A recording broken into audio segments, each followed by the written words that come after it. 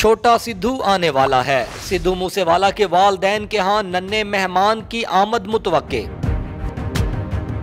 भारतीय गुलकार सिद्धू मूसेवाला के घर खुशियों का समा। 29 मई 2022 को बेदर्दी से कत्ल कर दिए जाने वाले गुलकार सिद्धू मूसेवाला के वालदेन के यहाँ जल्द बच्चे की पैदाइश मुतवक़े भारतीय मीडिया रिपोर्ट्स के मुताबिक खानदानी जराये ने तस्दीक की है कि सिद्धू मूसेवाला की वालदा के यहाँ अगले माह नन्हे मेहमान की आमद हो जाएगी। सिद्धू मूसेवाला की वालदा अठावन और वालद साठ साल के हैं।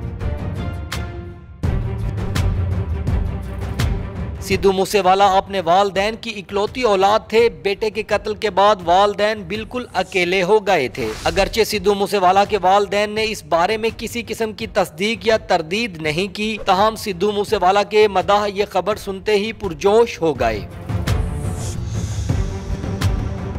सिद्धू मूसेवाला को दो साल कबल जिला मानसा के गाँव जवाहर में नामालूम हमला आवरों ने फायरिंग करके कत्ल कर दिया था। सिद्धू की गाड़ी पर तीस गोलियाँ बरसाई गई थी, जिसके नतीजे में सिद्धू मूसेवाला मौका पर ही दम तोड़ गए थे। सिद्धू मूसेवाला का शुमार पंजाब के अमीर तरीन गुलकारों में किया जाता है, जिनके असासों में लग्जरी गाड़ियों की बड़ी तादाद शामिल है।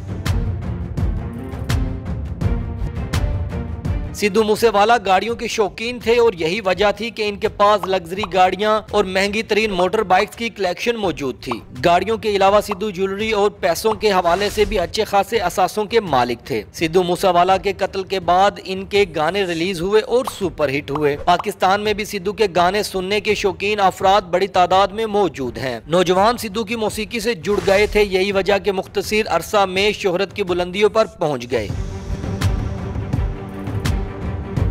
सिद्धू मूसेवाला अपने वालदेन से बेहद अटैच थे। यही वजह थी कि बेतहाशा दौलत के बावजूद भी वो अपने गाँव में ही रहे। सिद्धू मूसेवाला ने बहुत प्यार और मोहब्बत से अपने गाँव में एक हवेली भी बनाई। सिद्धू मूसेवाला ने अपनी वालदा और वालिद के लिए भी खसूसी गाने गाए। सिद्धू मूसेवाला के बाद इनके वालदेन की दुनिया वेरान हो गई थी। ऐसे में इस खबर से इनके मदाहों में खुशी की नई लहर दौड़ गई है।